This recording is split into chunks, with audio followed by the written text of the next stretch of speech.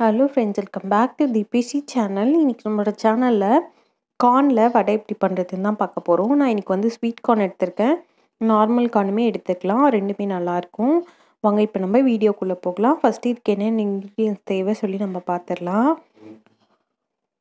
நான் இன்றைக்கி வந்து ஒரு கப் அளவுக்கு ஸ்வீட் கார்ன் எடுத்திருக்கேன். அதுக்கப்புறம் ஒரு கால் கப் கடலை மாவு ஒரு கால் கப் அரிசி மாவு எடுத்திருக்கேன். கொஞ்சமாக சோம்பு ரெண்டு பச்சை மிளகா ஒரு மூணு வெங்காயம் கொஞ்சமாக கொத்தமல்லி கொஞ்சம் கருவேப்பிலை இஞ்சி பூண்டு விழுது ஒரு டீஸ்பூன் அளவுக்கு. அதுக்கப்புறம் உப்பு கொஞ்சம் தேவையான அளவு எடுத்துக்கலாம்.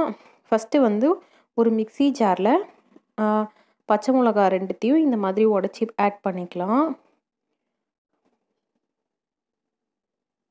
அதுக்கப்புறம் ஒரு ஆஃப் டேபிள் ஸ்பூன் அளவுக்கு உப்பு ஆட் பண்ணிக்கலாம். சோம்பு ஆட் பண்ணிக்கலாம். இது ஃபஸ்ட்டு வந்து ஒரு வாட்டி பிளெண்ட் பண்ணி எடுத்துகிட்டு அதுக்கப்புறமா ஸ்வீட் கார்ன் ஆட் பண்ணிக்கலாம். உங்ககிட்ட வந்து இஞ்சி பூண்டு விழுதா இல்லை அப்படின்னா நீங்கள் இந்த பச்சை மிளகாலாம் அரைக்கும் போதே கூட அதுலேயே இஞ்சி பூண்டு இஞ்சியும் பூண்டையும் போட்டு கூட அரைச்சி எடுத்துக்கலாம். கொஞ்சம் லைட்டாக இந்த மாதிரி குறை குறைன்னு இருக்க மாதிரி அரைச்சி எடுத்துக்கோங்க. அங்கங்கே ஒரு கார்ன் இருந்தாலும் ரொம்ப சூப்பராக இருக்கும். இப்போ வந்து இதை ஒரு பாத்திரத்தில் மாற்றிட்டு நம்ம வந்து நெக்ஸ்ட்டு என்னென்ன பொருள் தேவையோ அதில் ஆட் பண்ணிக்கலாம்.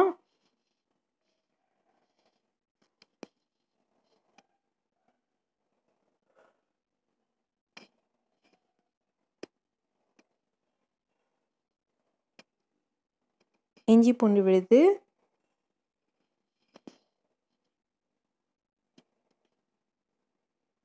கருவேப்பிலை கொத்தமல்லி எடுத்துக்கிறேன். அதுக்கப்புறம் வெங்காயம் குட்டி குட்டியாக நறுக்கி வச்சுருக்கிறத ஆட் பண்ணிக்கலாம்.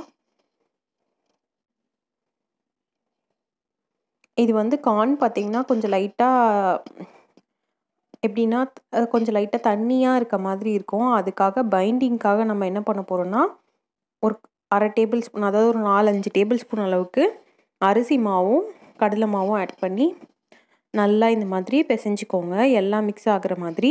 இந்த மாதிரி பிசைஞ்சோம் அப்படின்னா நம்மளுக்கு வந்து வடை மாவு பதத்துக்கு வந்துடும் இந்த மாதிரி வந்ததுக்கப்புறமா நம்ம குட்டி குட்டியாக பால்ஸ் பண்ணிவிட்டு அதுக்கப்புறமா வடை போட்டு எடுத்துக்கலாம்.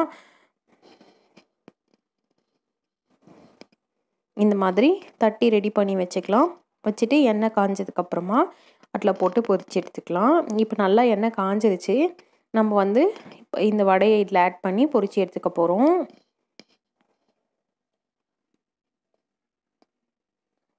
இது வந்து நார்மல் வடை குக் ஆகிற டைமை விட கொஞ்சம் சீக்கிரமாகவே வெந்துடும் ஸோ பார்த்து எடுத்துக்கோங்க. ரெண்டு சைடும் திருப்பி போட்டு நல்லா வேக வச்சு எடுத்துடலாம். அவ்வளோதாங்க நம்மளோட டேஸ்டியான ஹெல்த்தியான கார்ன் வடை ரெடி நீங்களும் உங்களோட வீட்டில் ட்ரை பண்ணி பாருங்கள் எனக்கு எப்படி இருந்தது சொல்லிவிட்டு கமெண்ட் செக்ஷனில் சொல்லுங்கள் தேங்க்யூ ஃபார் வாட்சிங் நம்ம இன்னொரு நல்ல வீடியோவில் மீட் பண்ணலாம். உங்களுக்கு இந்த வீடியோ பிடிச்சிருந்தா இந்த வீடியோக்கு லைக் பண்ணுங்கள் நம்மளோட சேனலுக்கு சப்ஸ்கிரைப் பண்ணுங்கள் பக்கத்துலேயே இருக்க பெல் ஐக்கானையும் ப்ரெஸ் பண்ணிக்கோங்க. அப்போ தான் நம்மளோட